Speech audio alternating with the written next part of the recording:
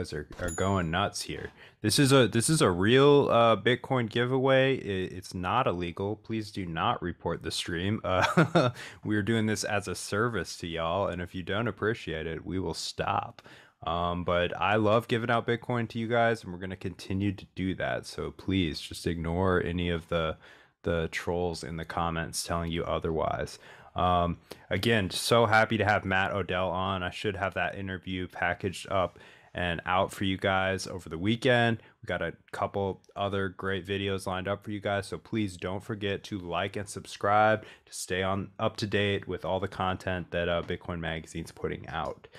Um, today, like to wrap things up, to wrap up the year, I want us to bust some bust some FUD. That's fear, uncertainty, and doubt coming specifically out of the man who has like quite a lot of uh, undue influence on the market, Elon Musk. Um, so we're going to watch a, a, section of Lex Fridman's recent interview with Elon Musk, and we're going to talk about Elon's comments as they relate to Bitcoin, uh, crypto, smart contracts. I think Elon uh, generally is continuing to be intellectually dishonest. I'm not calling him dumb. I'm not calling him a fraud.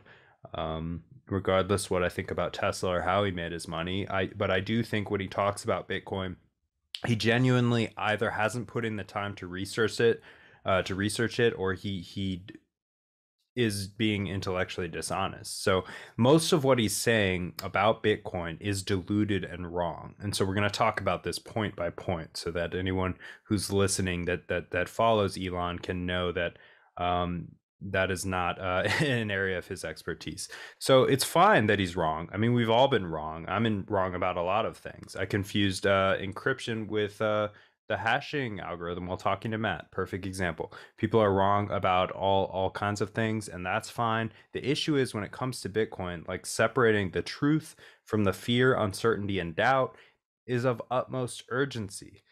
Musk's uh, Elon Musk has an massive online following and can move markets with his tweets and opinions. So there are dire consequences to him effectively lying and misguiding the market on Bitcoin. That being said, I don't agree with him on Bitcoin. I don't believe he understands money very well, despite him being the richest man in the world. Um, it's hard to believe, but based on the things that he has said, it would appear that he does not understand what money outside of the fiat system is. Um, I do support, however, his right to say whatever he wants. So we're here, you know, clapping back. My issue is I can't figure out the angle for Musk. Why is he doing this? Is he trying to suppress the Bitcoin price so he can buy more?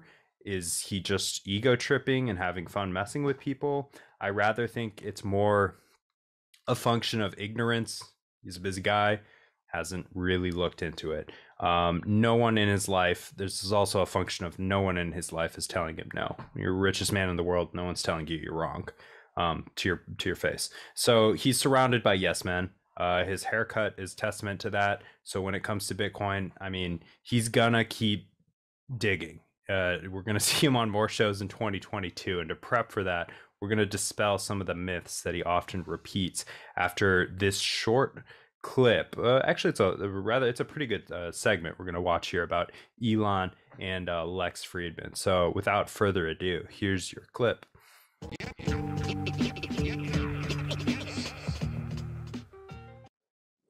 So let me be the guy. You, you posted a meme on Twitter recently where there's there's there's like a, a row of urinals.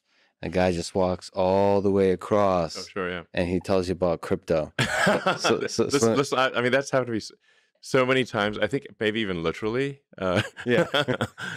Do you think, technologically speaking, there's any room for ideas of smart contracts or, or so on? Because you mentioned laws. Um, that's an interesting implement use of things like smart contracts to implement the laws by which governments function.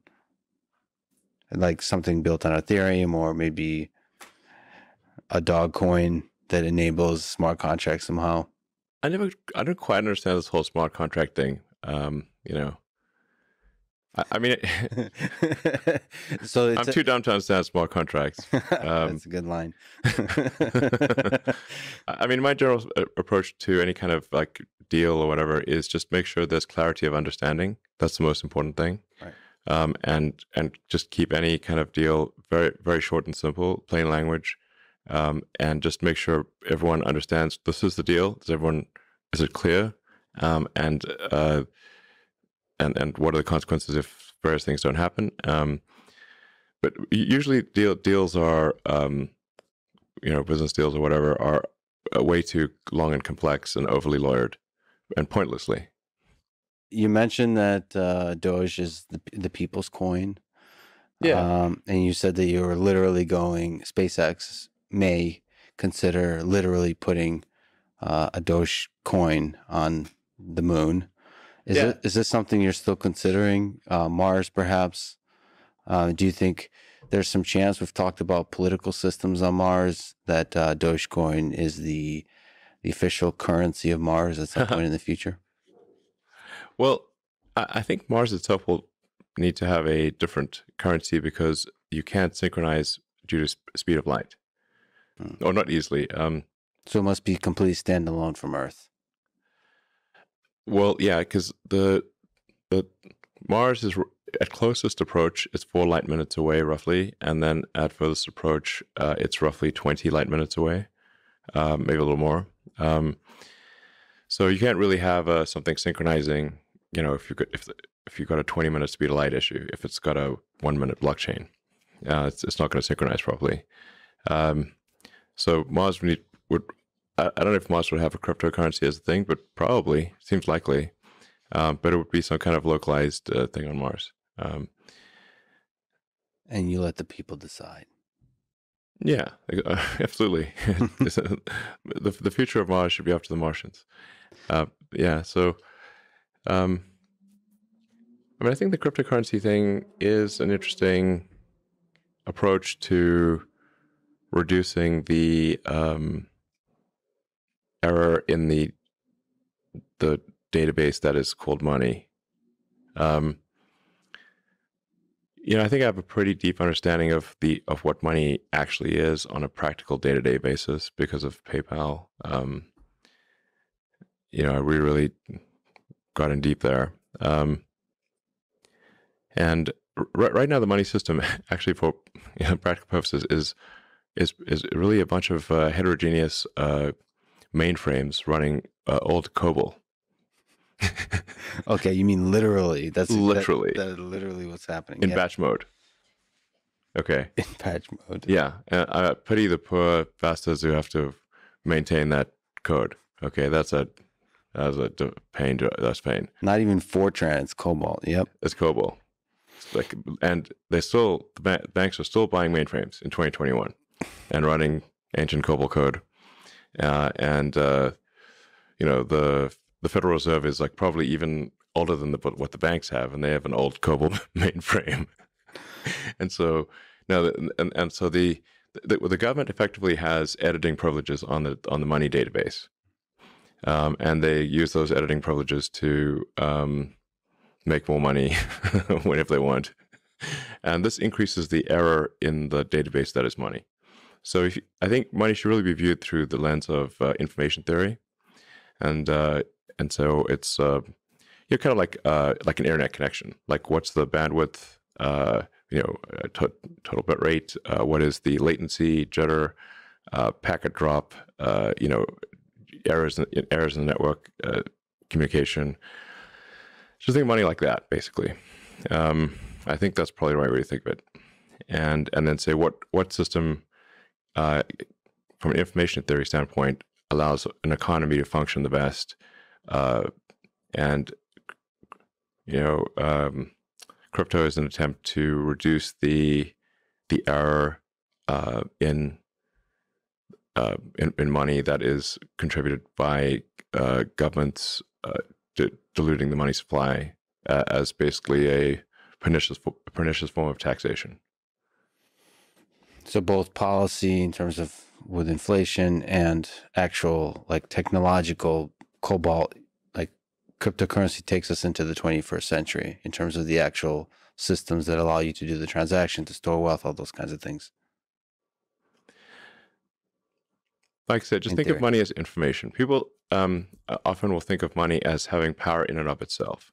Um, it does not. Money is uh, is information, and it, it does not have power in and of itself. Uh, the, like the, you know, again, applying the the physics tools of thinking about things in the limit is helpful. If you are stranded on a tropical island, um, and uh, you have a trillion dollars, it's useless because there's no there's no resource allocation. Mon- money is a database for resource allocation, but there's no resources to allocate except yourself. So money is useless. Um, uh, if you're stranded on a desert island with no food, you uh, all the Bitcoin in the world will not stop you from starving. Yeah. So, um, so like just just think of money as as a database for resource allocation um, across time and space, and um, and then what what what system uh, it, is what what in what form should that that database or data system what what what would be most effective? Now, the, the, there's a there is a fundamental issue with um, say Bitcoin in its current form uh, in that it's the transaction volume is very limited, um, and uh, the latency it's, it's the, latency for for a properly confirmed transaction is too is too long, much longer than you'd like. So it's not it's actually not great from um, a transaction volume standpoint or a latency standpoint. Um, uh, so it is perhaps useful as as to so, to solve an aspect of the money database problem, uh, which is this sort of store of wealth or an, an, an accounting of relative obligations, I suppose. Um, but it is not useful as a currency, as a day to day currency. But people have proposed different technological solutions. Like Lightning. Yeah, Lightning Network and the layer two technologies on top of that. I mean, it's it's all it seems to be all kind of a trade off. But the point is, it's kind of brilliant to say that just think about information, think about what kind of database, what kind of infrastructure enables that yeah, exchange. say like you're operating an economy, um, and you need to have some thing that it, uh, allows for the efficient to, to, to have efficient uh, value ratios between products and services. So you've got this massive number of products and services, and you need to you, can't just barter. barter. it's like that would be extremely unwieldy. Uh, so you need something that gives you the the a, a, a ratio of exchange between goods and services, um, and and then uh, something that allows you to uh, shift obligations across time, like debt, debt and equity, shift obligations across time. Then what does what what does the best job of that?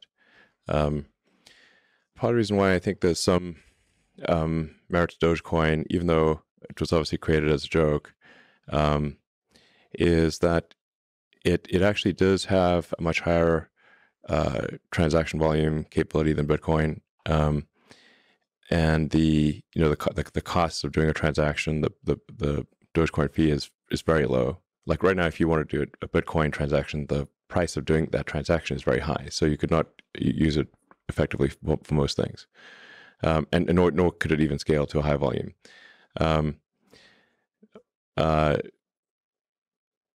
and, and when, Bitcoin was, you know, started, I guess around 2008 or something like that, um, the internet connections were much worse than they are today, like order of magnitude.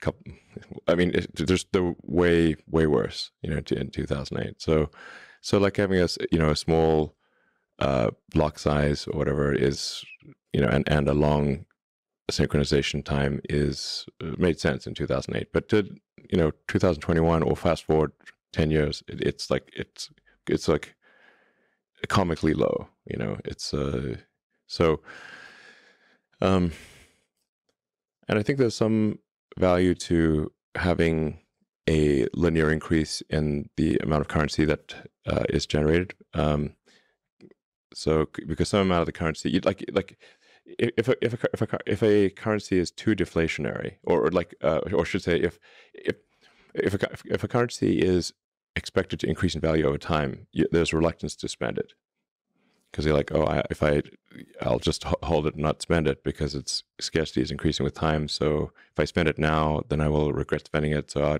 we'll just you know hodl it. Mhm. um, but if there's some dilution of the currency occurring over time, that's that's more of an incentive to use it as a currency.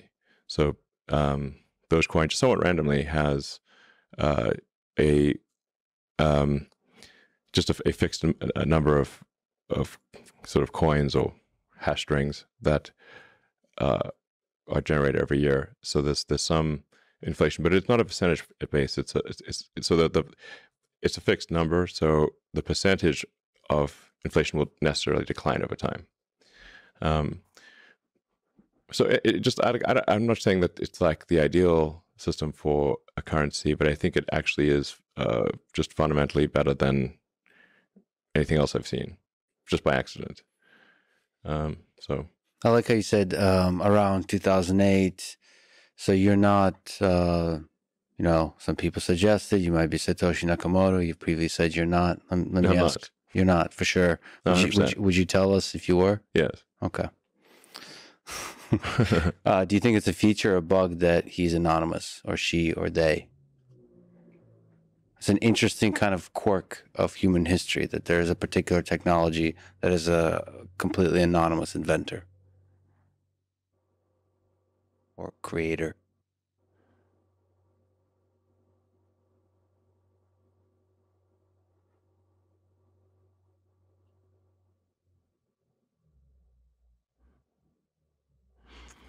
Well, I mean, you can you can look at the um, evolution of ideas um, before the launch of Bitcoin, and see who wrote, you know, about those ideas, um, and then I, like I don't know exactly. Obviously, I don't know who who created Bitcoin for practical purposes, but the evolution of ideas is is pretty clear before that, and like it seems as though like Nick Szabo uh, is probably more than anyone else uh, responsible for the evolution of those ideas. So, you know, he claims not to be Saka- S- S- S- Nakamoto, but I'm not sure that's that's neither here nor there. Uh, but he he seems to be the one more responsible for the ideas behind Bitcoin than anyone else. So it's not perhaps like singular figures aren't even as important as the the figures involved in the evolution of ideas that led to a thing. So Yeah. yeah, it's you know, most perhaps it's sad to think about history, but maybe most names will be forgotten anyway. What is the name anyway? It's a name a name attached to an idea. What does it even mean, really? I think Shakespeare had a thing about roses and stuff, whatever he said. Rose by any other name would smell sweet. I got Elon to quote Shakespeare. I feel I feel like I accomplished something today. Shall I compare thee to a summer's day?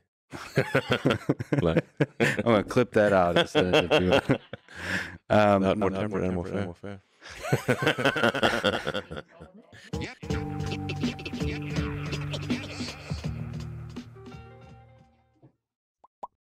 All right, guys, we are back.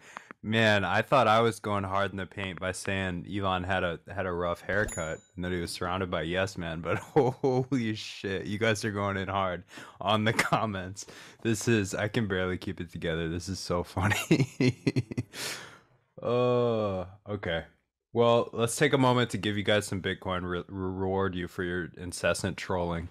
Um, I didn't realize you guys uh, were such Elon haters. I I love to hear it. I mean, I don't love to hate Elon, but I think he's completely wrong about Bitcoin, and I think that uh, Tesla is is a is a scam uh, to make wealthy people feel better about themselves. So uh, yeah, let's dig into that interview, guys. It's it's hard to watch. It's hard to do anything but laugh when you watch something like that. Um, Lex and Elon both uh, kind of bright guys on the surface, I guess. Um, you know, at least public facing. Um, seems neither really gets it. Um, extremely busy people. Uh, we know for a fact both of them. So I mean, I don't blame them. Bitcoin takes a lot of hours to understand well, a lot of hours. And and as Matt Odell pointed out in our interview, there's not a point where you've you've grokked it. Like there's not a point where you just understand all of it. Really, um, you just keep learning and growing and learning and and growing. And and no one on earth understands the protocol or its effects on society in whole. So it's really a bottomless pit. And I think something that these rather I guess we'll just call them well educated people have a trouble doing is admitting that they're wrong or you know that they that they made a mistake or that they didn't know anything about money you know when you're you're you're the quote like inventor or co-founder of PayPal and you get ousted from the company you know uh, you probably have a pretty big ego. It's probably hard to admit that you actually don't know anything about money. You don't know anything about money outside of the fiat system. You don't understand um, that ultimately a superior form of money is completely immune to government capture. I mean, that would be a hard pill to swallow when you became the richest man on the world on government subsidies for for bullshit uh, green credits. So anyway, mo- mo- moving on from that. So like when when Musk says I don't understand smart contracts, that's fair. No one does. Um, there's an Oracle problem with inherent in smart contracts that hasn't been solved. It's probably not going to be solved. In the end, you need a human or, or a consciousness to uh, arbitrate these contracts. So, moreover, most of most of the use cases for the contracts, like NFTs, you know, shit like that, it's unnecessary. No one, no one needs a contract uh, enforced by nothing uh, that points a digital signature to a JPEG, for example there's absolutely no reason to have that on a blockchain. Uh, a lot of the use cases for these cryptos and smart contracts, NFTs, most of these things would be better suited for like a database. You know, they're not they're not truly decentralized. There's no reason for them to be on a blockchain. The blockchain was created, you know, for very specific use case. Um, deployed in Bitcoin very successfully. Um, there's there aren't very many other use cases for it. It's a very slow very lightweight uh, and, and and but ever increasing um, software protocol. So yeah, I I agree with Elon there. There there is really no point in in getting to know blockchains or understanding them well. It does nothing to ensure like that artists are receiving royalties to put them on to put them on NFTs. It's it's not binding as many like frustrated 13 year olds uh, getting their JPEGs stolen on Twitter uh, have found out. Uh, these are not contracts that are enforceable by any means by anyone other than the platforms that issued them and the small community of people, the very, very tiny community of people who agree to play by these silly rules. Um, data is by definition copyable. Just ignore NFTs, folks. That'd be my advice. Uh, NFTs are speculative garbage. They have no fundamentals. Um, you know, I will say when it comes to fundamentals, like what I mean specifically is they're totally susceptible to capture from all angles by individuals and governments alike. They are not decentralized in the slightest. Um, they are a solution uh, looking for a problem, and they're a huge bubble. I, I think they're probably here to stay. People seem to enjoy them. Kids seem to really enjoy them, and I think they have a right to exist. But they exist in my mind more as like an IQ test. Um, and regulators are going to squash them uh, in one way or another. They're going to make it. They're going to make it difficult for all these other cryptocurrencies, all these NFTs, smart contracts, all this bullshit. Um, they're coming down hard on that, and I think uh, Gary Gensler couldn't be more vocal about that because they're securities. They're unregulated securities um, with insider interests dumping on greater and greater and greater fools. Uh, so anyway, Musk also in that clip he talks about like antiquated fiat monetary technology, and I think he's really digging into the problem here when he says that the government quote effectively has editing privileges on the monetary database. So it's 100% true. Uh, we've allowed money to remain captured by the government for so many generations that we've forgotten what it was. Musk included. Um, the, the the government's editing our money. They're inflating it they're taxing it. They're confiscating it. They're telling you when you can and cannot use it. I don't know about you guys, but on the East Coast here, I mean, it's New Year's Eve. We're coming close to five o'clock. Banks closed. You can't go get your money. like, there's very few options. You you want to go to an ATM when the bank's closed, you got to go pay a fee to access your own money. It's just there's a reason Bitcoin rolls 24 seven you know, tick tock, next block, 365 days a year, no holidays, no arbitrary breaks, no downtime at all. Um, no no no middleman no third parties between you and your sovereign wealth. It's a beautiful thing and, and i think until you've experienced it you don't you don't really realize how beautiful that is. Um okay let's get into some of these comments a little bit. What are you guys talking about? Cc says nfts are scams that are money grabs uh, and kids spending their money and then Gleep Glorp says that's a hasty generalization. Um yeah, I think uh I think you're right, CC. I mean, unfortunately there's a lot of adults that are like heavy heavy into the NFTs too.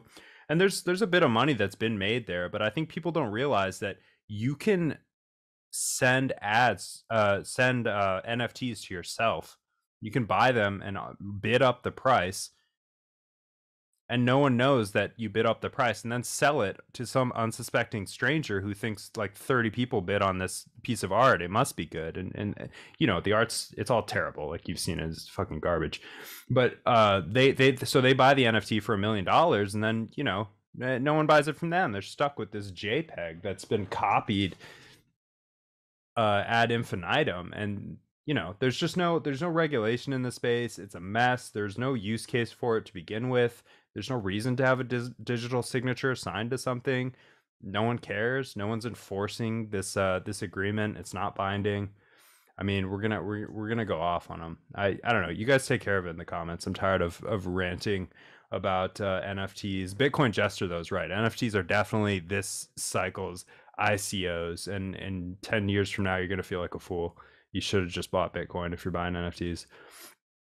Um. So basically getting back to the government. The government is putting conditions on who gets to use money and why. Your dollars are not yours. The only property you own in this life is Bitcoin, as far as I can tell. Um, you know, as someone who's seen like eminent domain letters, you know, the, your house isn't yours. You pay taxes on that. It's impaired.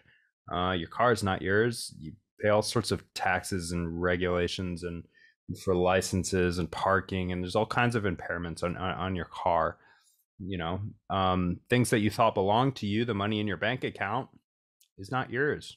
You don't even know how it's secured. You don't understand it. Your gold's not yours. It's held by a bank. The only thing that's yours is the bitcoin in your cold storage custody. So make two, 2022 if you don't have any bitcoin yet uh, make that the year that you you get some sovereign property and actually take ownership of something so, getting back to Musk, uh, Musk believes there's merit to Dogecoin because it has, quote, higher transaction volume than Bitcoin. He calls Bitcoin's transaction volume comically low. However, while mentioning Lightning in a breath during the interview, he somehow neglected to mention how Lightning expands Bitcoin's transactional volume by theoretically millions of transactions per second. So, there's no transaction volume problem at all in Bitcoin, where where the, there once might have been. But Musk is taking when he compares it to Doge, he's taking a trade off as decentralization, a trade off of decentralization for what appears to be unit bias uh, and a high transaction volume of, of Dogecoin. Unfortunately, he just doesn't know what he's talking about. Uh, there's really no other way to put it. Dogecoin is a copy paste project of Bitcoin with the parameters busted open and tweaked with. That's been abandoned. Um, eh, that sounds great, right? But in fact, it's terrible. Dogecoin is inflating indefinitely. No one runs Dogecoin nodes to protect the network. It's completely subject to attack and debasement and rule changes. Uh, you have no fundamental guarantee of property rights in Dogecoin. Um, you know, it's downright stupid that Musk continues to say things like, quote, Dogecoin is better than any monetary technology I've seen so far, and seemingly just by accident. It's a copy paste project of Bitcoin. I mean, if, if if this is the most impressive monetary technology Elon Musk has seen, I cannot wait for someone to show him Bitcoin because I, I I'm actually a little bit worried that he, you know, why would he own Bitcoin if he understands so precious little about it. So Dogecoin isn't even in the discussion of urgent monetary technology. We can put that one to rest. And uh, when Lex asks Elon whether he's Satoshi, as some of you in the in the in the comments pointed out. I mean, that surely has to be a joke. There are 12 year olds who understand Bitcoin better than Elon Musk. I've met them. I think Elon Musk is either being intellectually dishonest uh, to keep the price down or just enjoys watching the market move after he makes a statement. Um, I mean, it's the same old game. I think, and then at bottom, I think he just hasn't put the time in and uh, is used to people sort of just nodding soberly when when he goes on about subjects. So, you know, he he, he hasn't been checked. He hasn't he hasn't been corrected. So it's it's somewhat of a power trip. I don't hate Elon for this, but it's misleading to a lot of smooth-brained investors. Like there's hundreds of thousands of people out there who are going to YOLO into Doge every time he says it's a better form of money than Bitcoin. And that's just not the case, right? So that dishonesty or that intellectual dishonesty or outright you know lying on his part it's just uh it's not right. I mean he has he has a right to do it and address his audience however he wants but uh that's why we're here correcting it today. The long drawn out pauses he makes uh when asked whether like it's a feature or a bug that bitcoin's creator is anonymous it's like it's like he seems to remember that intelligent people pause to think before answering questions. I mean, he bides his time. That was like a two minute pause before answering the question, uh, and he does in fact deliver. He he he actually did attribute much of the success of Bitcoin to Nick Szabo, and this is was kind of a turning point for for Elon in the interview. Um, he attributed much of the success to Bitcoin uh, to early adopters who shaped and promoted the ideas so that it may survive and not you know undergo some sort of attack or, or just be forgotten altogether. Um, on a positive note i will say it's actually impressive that elon musk knows who nick szabo is. That actually took me for a turn. I was like well done elon. It looks like he's been doing a little bit of homework or something something got in there. Um so he's not claiming Szabo is Nakamoto, as I saw some press outlets saying. If you go back and rewatch it, that's that's not what he says at all he's not even saying Elon's not even saying that it matters who Satoshi was, which is important to understand. It's better we don't know who created Bitcoin in all cases for Satoshi and for Bitcoin. It's really better we don't meet this hero, in my opinion. And Musk seems to agree. I mean, he believes it's the evangelists and champions who kept it alive and explained the ideas early on who are historically significant. I would agree with that but he he ends this this interview with Lex, this Bitcoin and, and crypto babble talks that Lex has been hosting regularly by by quoting Shakespeare, who saying, you know, what does it matter who created Bitcoin? Like what's in a name? A rose by any other name would smell as sweet, I think is the quote. And on that point, I think he's actually right on the money. Uh, it's it's important this idea of immaculate conception um, I think it, it helps Bitcoiners uh, sleep well at night. But it, on the other hand, it also keeps, you know, I talked to Eric Weinstein. He told me it keeps it up. It keeps him up at night. Eric Weinstein told me that. He said it keeps him up at night uh, that he doesn't know who made Bitcoin.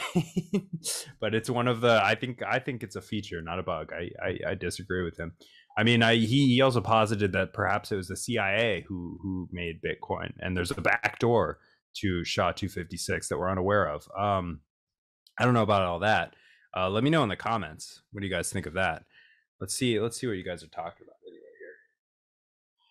here. Bitcoin Jester seems to think Nick Szabo is actually Satoshi. That's interesting.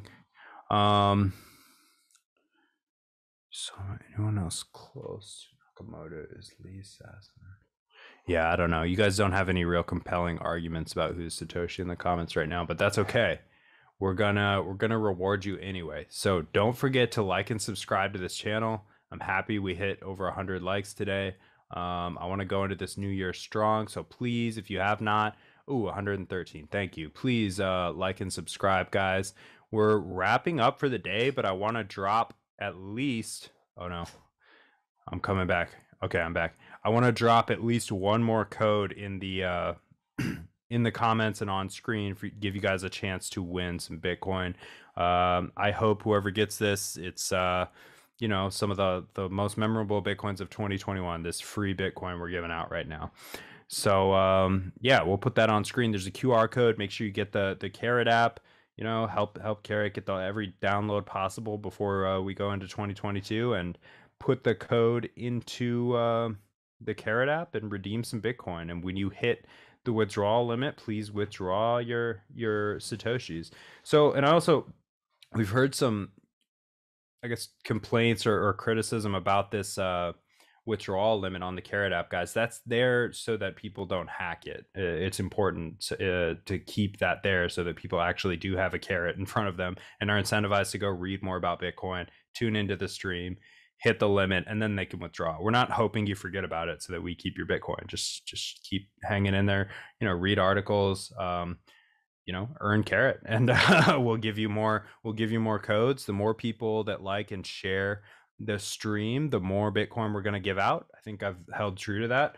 Uh, we uh, went from 500 up to a thousand sats just today to round off the year. I mean, it's a great, um, yeah. The so the limits on withdrawal they're they're a great way to prevent fraud.